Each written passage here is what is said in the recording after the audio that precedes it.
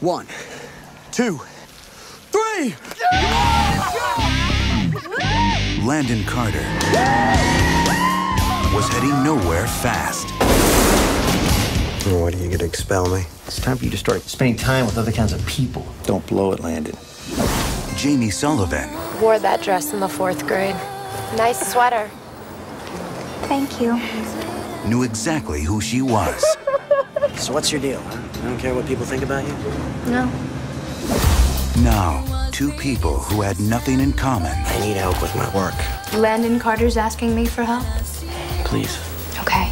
have everything to learn from each other. Landon Carter is coming here. Dad, I'm not a child. Well, it's him I don't trust, not you. Landon, where have you been? Nowhere, man. What's with you, man?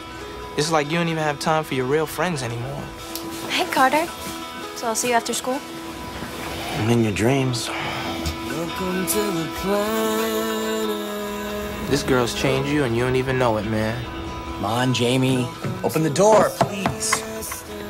Listen, Jamie, I was hoping we could. We could be secret friends. Exactly. It's like you're reading my mind. Great. Um, maybe you could read mine.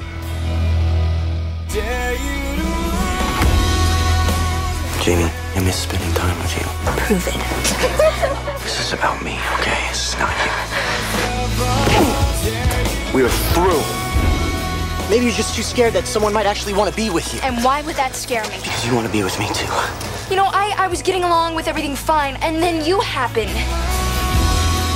I'm not going anywhere. Please tell Jamie that. She makes me want to be different, better. I might be bad at it. It's not possible.